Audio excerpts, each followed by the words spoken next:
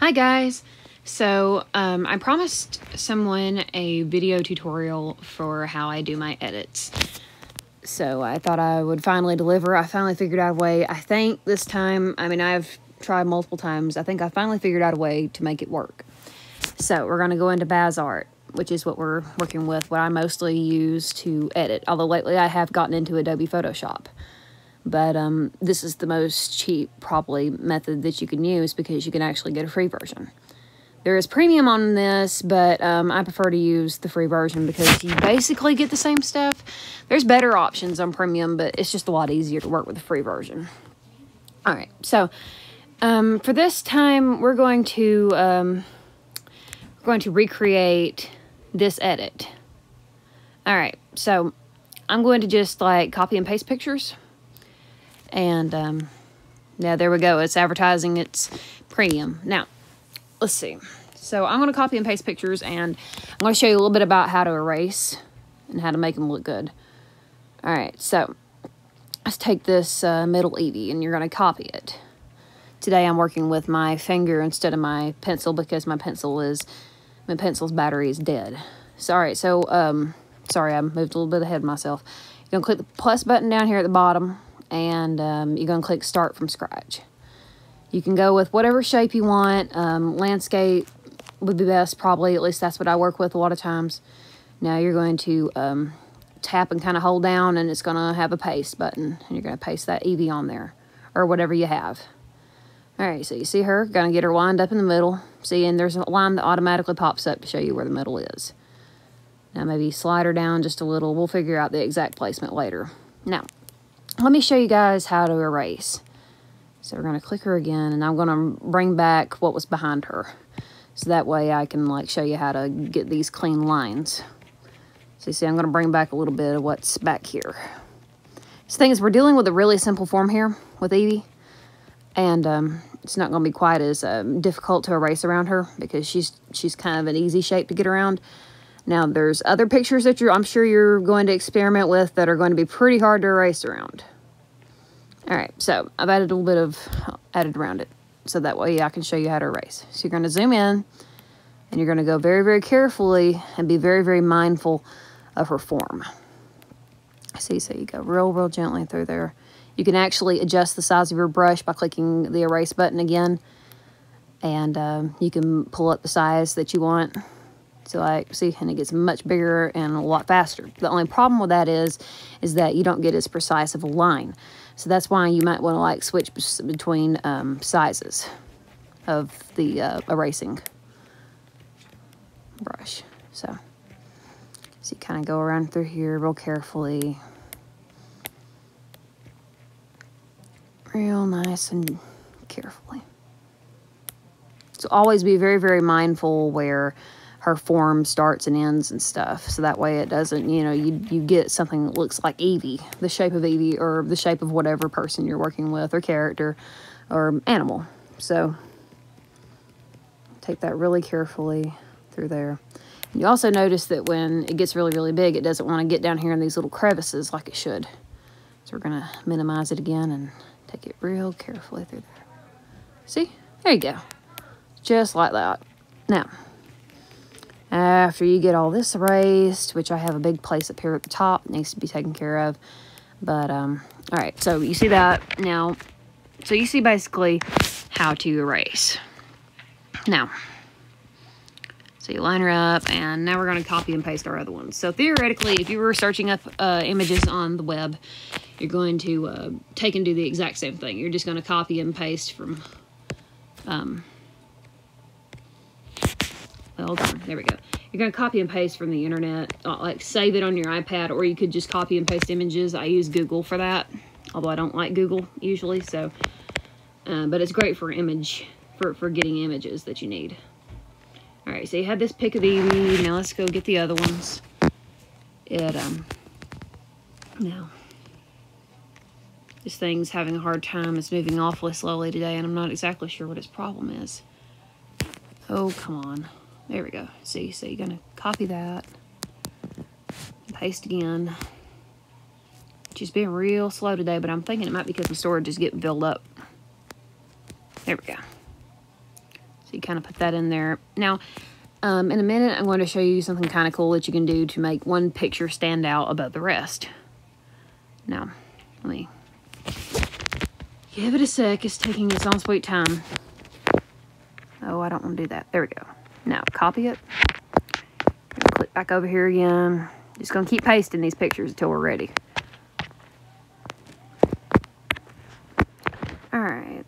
Let's see. We got one more pic to get. Come on, Evie. Be my friend. Come on, baby. Alright, now. Copy that and about to paste it. Alright, we got all our Evie pictures now. So you see how she's blocking up this other Evie's face really badly. So we're going to take it and we're going to click that Evie that we want to jump up in front of her. We're going to click on these options down here at the bottom. We're going to click front.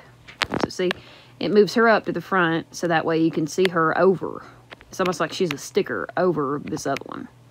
So you can minimize and maximize these these uh, people that you've worked with and you can click front on this one so that the face is um, the ultimate focal point of the artwork or the edit.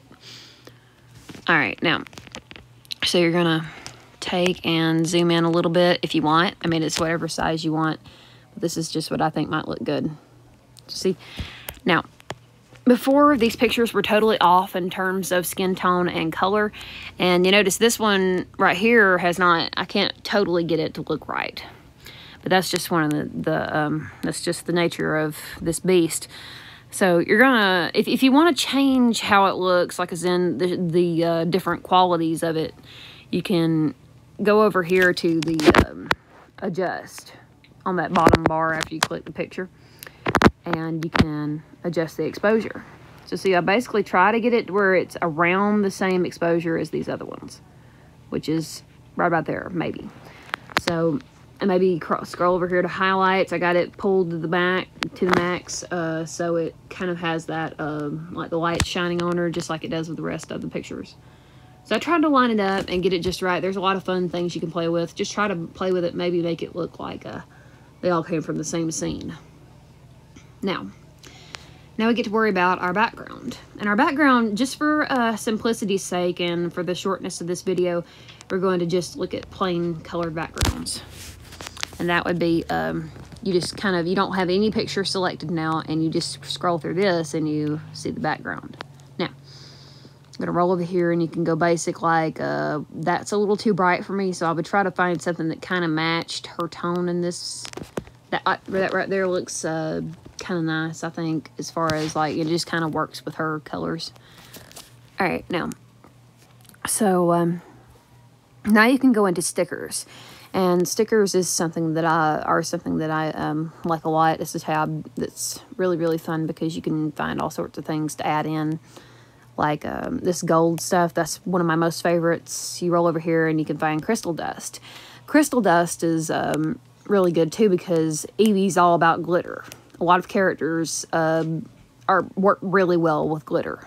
So you see, you wait for it to clear up like it just did, and put it behind click the back button. Oh, just like you did front, you go you do back this time. Basically, you just keep fiddling with that button until it um, until you have the option for back. All right, so we're going to click off that and click our stickers again. Now, this blue glitter will work very nicely for what we're doing. Just wait for it to clear up. There we go, just like it just did. Now, you can put that in the back. See? And you notice, right, and here, I'm not sure if you can tell, it's between these two pictures, right in here in this weird little area, there's, um, you can see where it's overlapping, which is kind of neat because it makes an interesting effect. Now, I'm going to click stickers again. Uh, maybe some gold because gold looks good with Evie too because you notice the gold in her outfit on these pictures. Now we're going to kind of zoom that one in really, really big and put it in the back. You can't hardly see it, but there's a few little accents of where it is. Now, however, if you want the gold to show more, you can use your, um, you can click one of these other stickers and you can use your erase button. Now, it's really not going to show a whole lot here, so we, maybe we should click the other sticker and see how that would work. Now, take the eraser and you can zoom in down here. And let me make my eraser a little bigger. There we go. See, just like this. See, so that way the gold shows more than the blue does. Now let's see what it look how it looks when we zoom back. There we go. See, the gold's showing more. All right. Now you can add your text. So in this case, let's let's do uh, Selena Gomez's song "Who Says" because, well, I mean, hey, it fits Evie really well, right? All right, who says? Hang on a sec. Oh, it already remembered what I had to say. Okay. Who says? Now what we're gonna do? Maybe we should um, just put this in a single thing right here. And let's see, we can edit our fonts because up there at the very, very top we have options. So we can go through the fonts of what you might like to use. A lot of pretty fonts to use. So there's that one. And this one. I'm going to go with the Natalie font. I don't know why, but it just looks good. So, um, now, we're gonna, we might want to put... Alright, so we're going to take, set it up here. Make sure it doesn't invade the face too much, so that way you can still get an idea who's there of who you're um, putting in your edit. Not the draw option, sorry. No. All right, who says, who says you're not, we're gonna, maybe we should um, divide this into a better so the thing is, is that if you use if you if you use the text option in small little spurts, it'll look better in the end.